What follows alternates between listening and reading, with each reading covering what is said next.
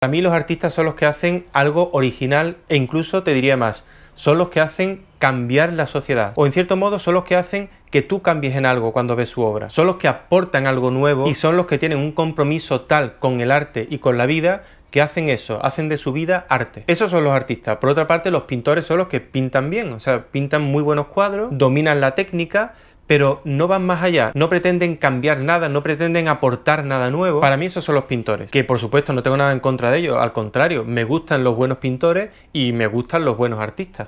Empezamos fuerte este video con la opinión del doctor Antonio García Villarán, doctor en artes visuales, tiene un canal de YouTube donde sube tutoriales, donde sube muestras de su trabajo, opiniones, diferentes aspectos de su actividad creativa, está tan extensa que él produce, que él comparte con nosotros, sus seguidores. Muy recomendable su canal, les dejo la dirección aquí abajo para que lo visiten, díganle que van de mi parte.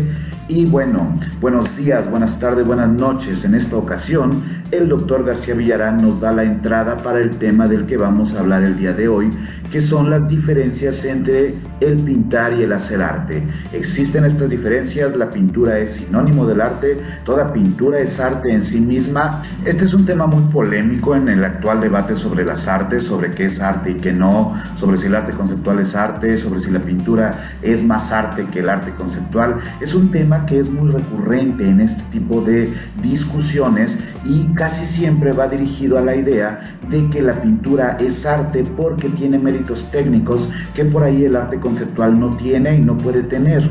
Más allá de este pleito, que vamos a tratarlo en un video posterior, es importante regresar a este punto que la pintura está validada por el proceso detrás de ella y que los acabados de una pintura son equivalentes a su carácter artístico. Esto es un tema polémico en el. Muchos pintores que tienen extraordinario trabajo aquí en México asumen que estas cualidades técnicas le dan el derecho a su obra a ser considerado arte por aquellos procesos que preceden la creación de una obra. Hay que partir desde este punto.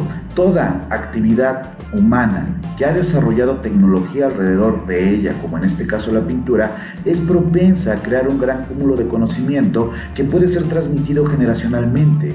La pintura occidental, pensemos en la pintura a partir del año 1500, por ejemplo, la pintura occidental va a tener un cúmulo de conocimiento asociado que permite la transmisión de ese conocimiento y el refinamiento técnico y de las herramientas, es decir, técnico y tecnológico asociado a ello. Hay mucho conocimiento ligado directamente a la pintura antes de entrar a términos como la estética o el arte en sí mismo.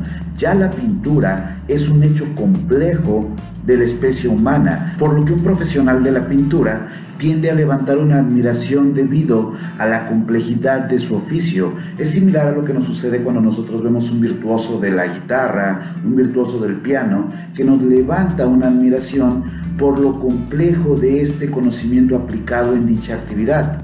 Sin embargo, este tipo de opinión suele estar ligada a una concepción eurocentrista del arte, donde las grandes cumbres de la actividad pictórica se dan entre los siglos XV y XVI, y por tanto la gran pintura es entendida en estos términos. Un pintor que esté cercano a estos acabados, a estas técnicas, es considerado por una gran parte del público un verdadero artista en cuanto se está idealizando esta visión de perfección de la pintura del siglo XV y XVI en Europa principalmente pero como he dicho, esta es una percepción eurocentrista de la actividad pictórica, porque en este aspecto quedan fuera otras expresiones pictóricas que en el mundo europeo de estos siglos se consideraban atrasadas, como sucede con la pintura mural maya, con las expresiones artísticas africanas, con aquellas que no estaban ligadas al concepto de mímesis aristotélica, la cual nos daba la pauta para entender que la mejor obra era la que más se acercaba a la realidad. Esto que pareciera que ha sido superado realmente sigue siendo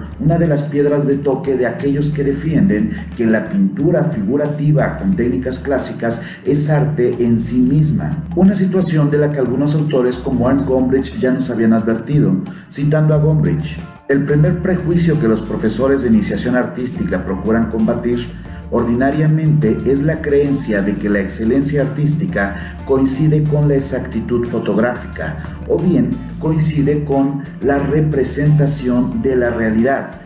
Al respecto, algunos autores han tratado el tema cuestionando si en efecto la representación de la realidad acerca más a una pintura de su carácter artístico. Carlo Argan nos comenta, el problema de la relación entre arte y realidad planteado en estos términos es un problema irresoluble, absurdo, irresoluble y absurdo porque el arte también es realidad concreta, existente. No cabe pensar el arte sin pensar en las obras de arte. Es imposible plantear un concepto del arte que no se identifique inmediatamente con toda la fenomenología del arte. Si el arte es realidad, el problema de su relación con la realidad será entonces un problema relativo a la relación entre una parte de la realidad y la realidad en su conjunto. De modo que la cuestión se traduce a averiguar cómo el arte está en la realidad. Si bien la pintura en términos miméticos trata de imitar la realidad, el arte en la pintura es realidad encontrando su lugar dentro de la realidad general. Esto es algo que ya sabían los pintores del Renacimiento y que ya sabían los pintores del Barroco, pero que se tiende a olvidar en la búsqueda de la mímesis y la perfección técnica. Valores muy populares en una actualidad donde las imágenes inmediatas y la comunicación inmediata han saturado el medio de imágenes basura, algo que ya nos decía Lipovetsky. La gran belleza artesanalmente hecha nos conduce a la sensación de una mayor humanidad, en la producción de dichas imágenes. Da la pauta para que un sentimiento de anhelo por el pasado surja dentro de la observación de estos cuadros y nos conecte con una tradición anterior que ha llegado a nosotros idealizada de alguna manera. Por ejemplo, cuando nosotros vemos un Goya, por decir el 3 de mayo de Goya, asumimos que esta pintura siempre ha sido la gran obra de arte y también asumimos que Goya siempre ha sido el gran maestro que ahora sabemos que es. Sin embargo, pasamos por alto que ya en su momento el 3 de mayo de Goya era considerado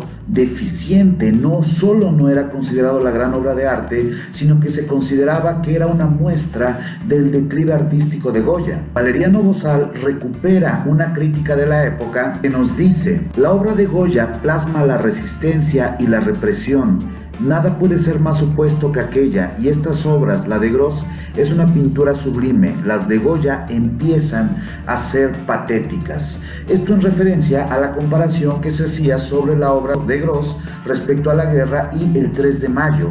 Goya ya resultaba un autor que era cuestionado en su momento, algo que sucedió también con autores como Rembrandt, como Cézanne, a quien de hecho se le dijo que su obra era como el vómito de un niño, como Manet en su momento. A lo que me refiero es que los valores artísticos ligados a la pintura se modifican de acuerdo a la realidad que los rodea, pero que a su vez la pintura llevada al grado de arte tiene la cualidad de modificar la percepción de lo que la gente considera arte.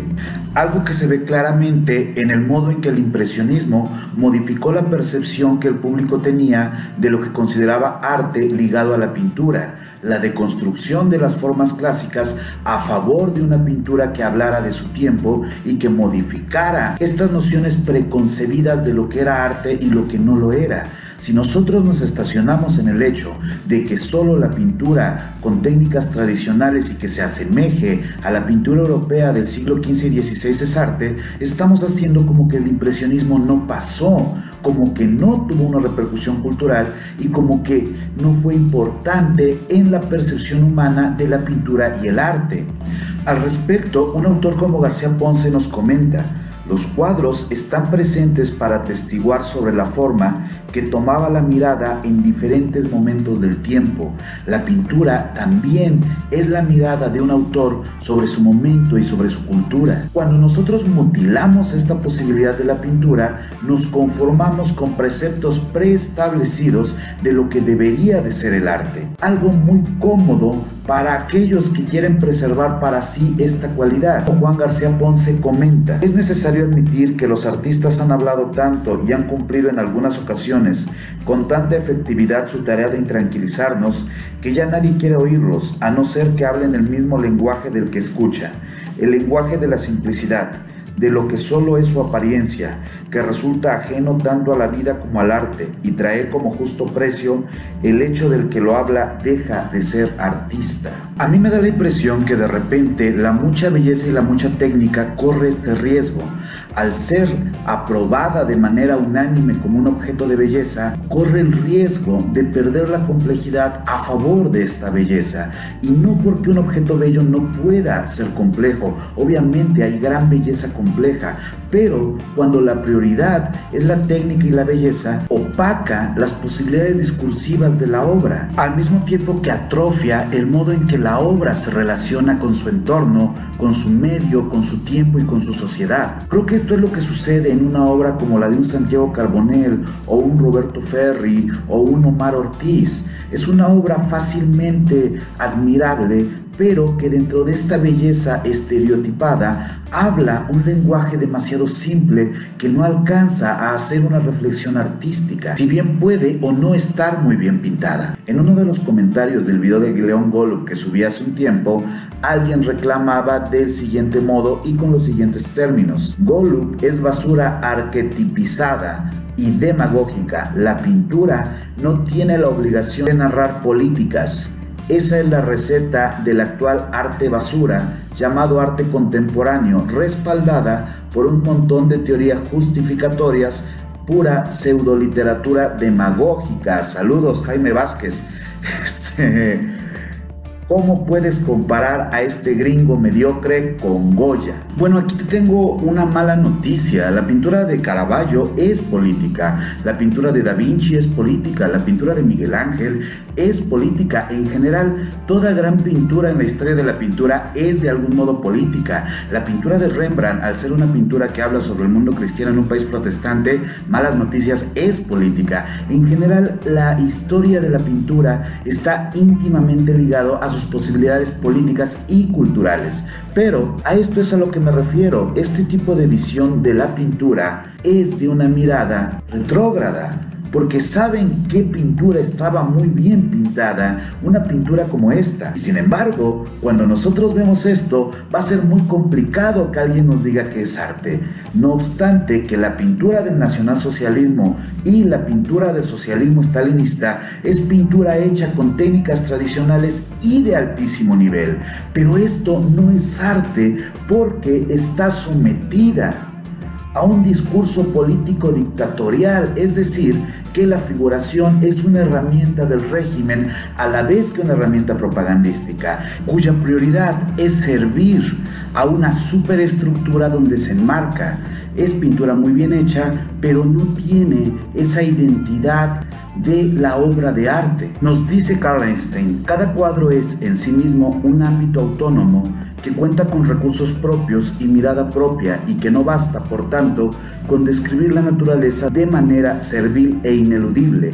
Un cuadro como este de Hitler nos va a presentar una pintura muy bien hecha, pero donde la intencionalidad del autor está dirigida a una funcionalidad que dentro del marco en el que se desarrolla pretende ser arte pero la estructura nacional socialista probó ser inhumana y por tanto se le adjudica el valor de no arte a toda la pintura realizada dentro de las coordenadas que la validaban como arte.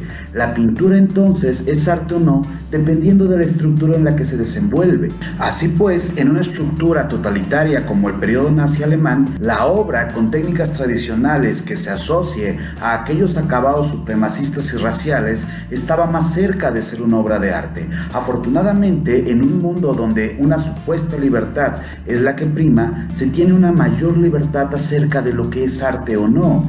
No obstante, aquí se me podría decir, bueno, pero si estamos hablando de que este arte que finalmente era propagandístico no es arte verdaderamente, no pasaría lo mismo con los cuadros de Caravaggio, que al final eran propaganda para la iglesia.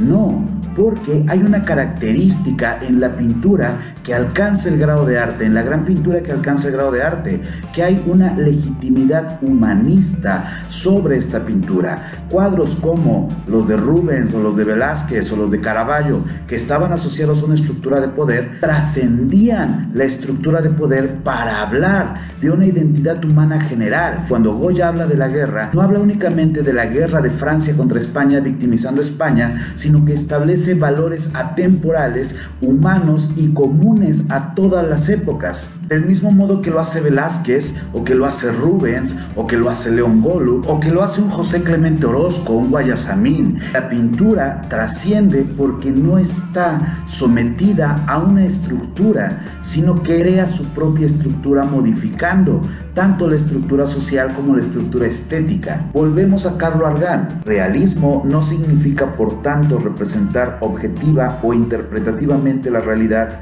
sino ser en la realidad estar dentro de la realidad histórica y social, no menos que de la realidad natural. El único realismo que se puede reclamar del arte es un realismo moral. El comentario de este visitante nos dice, nos advierte que la pintura no tiene la obligación, por supuesto que no tiene la obligación, pero entonces la pintura tampoco tiene el derecho de ser considerada arte a menos que afecte la realidad como nos ha comentado el señor Antonio Villarán. Otra cosa es que la pintura no tiene que estar ligada a eventos políticos para profundizar en la gran poesía y en la gran realidad y para afectar a la sociedad en la que se desenvuelve. Pero en este caso hablamos de un tipo de pintura particular que toma el tema de la pintura en sí mismo como un terreno de experimentación.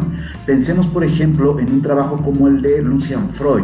Lucian Freud retoma algunos de los motivos más comunes en la historia de la pintura como es el desnudo, pero los reinventa técnica, narrativa, estructural y emocionalmente. Cuando nosotros vemos un Lucian Freud, no estamos sometidos a la vista de un desnudo tradicional, sino una experimentación dentro de la pintura, es decir, una metapintura que se toma a sí misma como tema. Esto es algo muy particular que pocos pintores logran hacer más allá de la imitación de Lucian Freud. Y de ahí podemos partir a aquella otra obra que toma pulsiones humanas como la tristeza y las reconvierte en una obra de arte, aunque también hay que considerar que no toda obra surgida del drama, de la tristeza, de la angustia, de un estado mental extremo, tiene la garantía de que este estado mental de su autor la convierte en arte por intensa que sea nuestra experiencia. Se requiere de una sublimación, diría Sigmund Freud, de esta emoción para convertirla en una obra artística en la que el público se reconoce, pero además le aporta algo a esta experiencia. Una fenomenología como la que sucede con las desventuras del joven Weather de Goethe, donde Goethe toma un desamor y lo transforma en una gran historia para poder hablarnos de esta intimidad del amor, del desamor, del sufrimiento común a todos nosotros. No solamente es tomar la pasión, trabajar apasionadamente y esto nos garantiza la obra de arte. No hay garantías en el arte. La pintura que aspire a ser obra de arte no está ligada a un estilo, a un acabado o a una temporalidad específica, sino que puede surgir de diferentes formas. Puede surgir de la abstracción, puede surgir de la figuración y puede apelar a la sencillez, pero nunca a la simpleza. No hay obras de arte simples, si acaso hay obras de arte sencillas. La gran obra de arte nos adentra en la naturaleza humana, pero también nos alerta de las posibilidades estéticas y conforma el espíritu de la época. Una obra de arte es mucho más compleja que una buena pintura. Aquí entra otro factor que es el de la trascendencia. Es ingenuo pensar que la obra de arte trasciende por sí misma. La obra de arte trasciende alrededor de una estructura que la permite o la recupera y le otorga la trascendencia. Hay pintura que casi no trasciende por sus valores estéticos, sino que se requirió una revolución cultural, una revolución estética para que se reconociera como una obra de arte trascendental, como en el caso de Paolo Uccello y la batalla de San Romano, o incluso en el caso de Jan Vermeer. ¿Cuántos autores que eran extraordinarios pintores se han quedado perdidos en la historia? Yo creo que hay un gran riesgo que nos atañe a todos los que nos dedicamos a la pintura, que es que no importa cuánta pasión pongamos en nuestra obra de arte, no importa qué tanto esfuerzo, no importa qué tan geniales sean, no importa si te dicen el nuevo Rembrandt, el nuevo Caravaggio o el nuevo lo que sea, nada de esto asegura que tu obra sea arte. Pero al mismo tiempo es necesario actuar pensando en la enorme responsabilidad de buscar la obra de arte. Parafraseando al tío Ben, un gran poder implica una gran responsabilidad y la actividad pictórica que intenta ser artística conlleva una responsabilidad. Si el arte fuera solo o principalmente la expresión de una visión personal, no podría haber historia del arte. Aun cuando nosotros no la aceptemos, aun cuando caigamos en la frase de yo pinto para mí, no me importa la crítica y tal, una vez que arrojamos un producto, una obra a la realidad, esa obra se vuelve un elemento de la realidad social en la que estamos inmersos.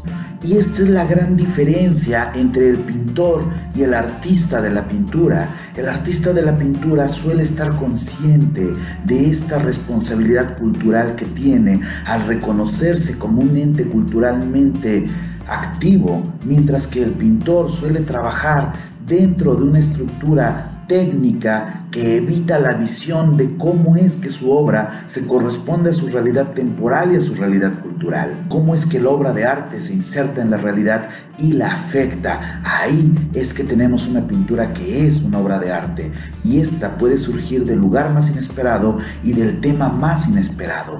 Un desnudo todavía puede ser una gran obra de arte, pero habrá de abordar el tema del desnudo de tal modo que reconstituya nuestra percepción del desnudo. Una obra que hable del humanismo, que hable de la humanidad, puede ser una obra de arte siempre y cuando nos aporte nueva información sobre nuestras coordenadas de lo que entendemos humanismo en la realidad.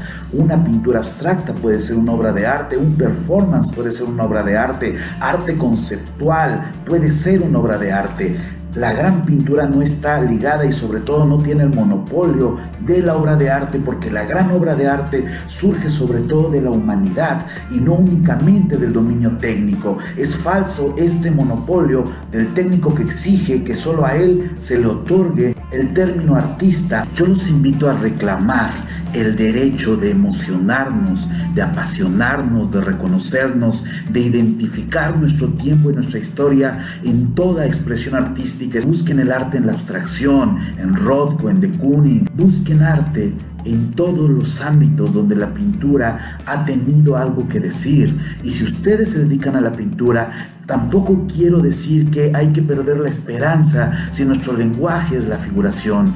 No, hay que afrontarla con un gran amor por los materiales, un gran amor con la técnica, pero también con una enorme humildad, conscientes de que somos uno entre muchos y que solo entendiendo nuestro entorno, entendiéndonos a nosotros, asimilando todos los estímulos posibles, podremos acercarnos al arte. No hay que obsesionarse con la técnica, hay que pensar en el arte con mucho respeto, viendo hacia atrás y viendo hacia adelante y pensando qué puedo proponer que no sea más basura para esta vorágine visual que puedo proponer que sea honesto y que a la vez aporte algo a este público y que me aporte algo a mí. A lo mejor así nosotros somos capaces de arañar el arte.